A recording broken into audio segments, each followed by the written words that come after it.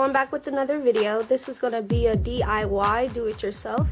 Um, I got this idea from a fellow YouTuber. I don't know her name off the top of my head, but I will link her in the description box.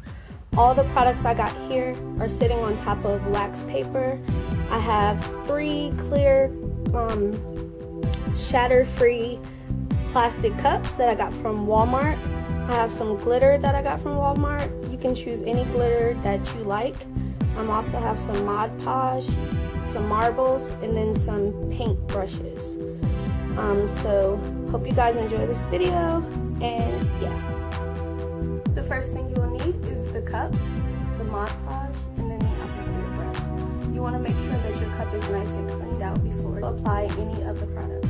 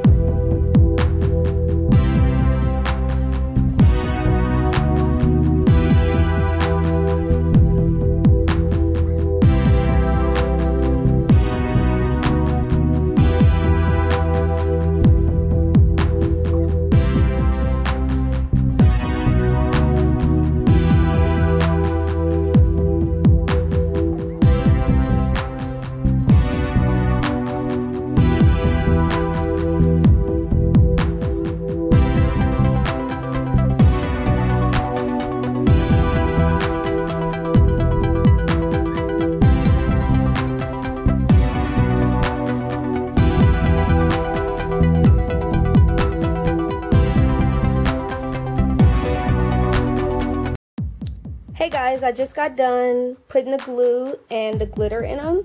I'm just letting them dry now for a while. Um, I'll probably let them dry for like a couple hours maybe, um, depending on, you know, how quick they dry. But um, after that, I'll be able to put the marbles and the brushes in them. So yeah, stay tuned. Bye guys. Hey guys, so I just got done with the cup. Um, it's dried and I've also placed the marbles inside. Um, I've already placed the brushes inside, some of my most used brushes.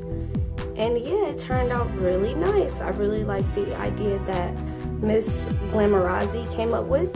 Um, and yeah, go check out her video if you haven't seen it. So I hope you guys like this video. And yeah, bye guys.